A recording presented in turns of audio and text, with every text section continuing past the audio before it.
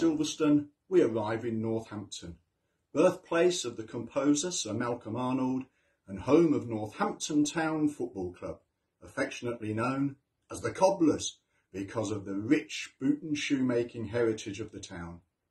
Our second piece is March of the Cobblers. Come on, you cobblers!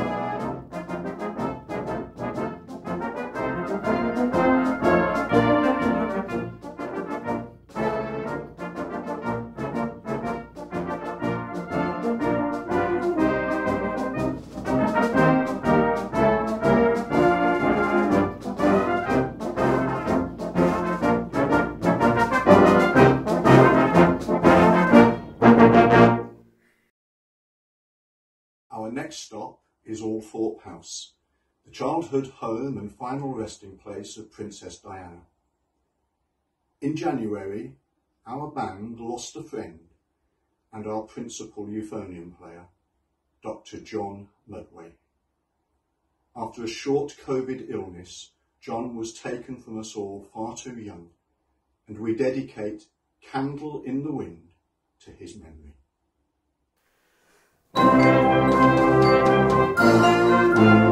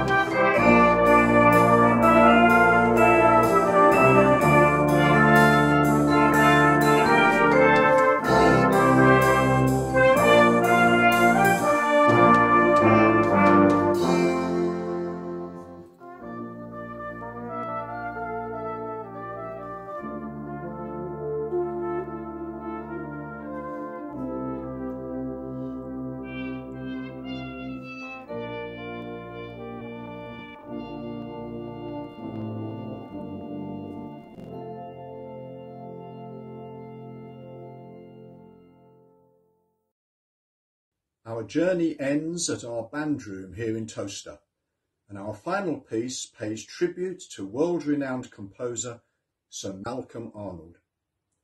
After the challenges of the last year, it's all aboard the Padstow lifeboat.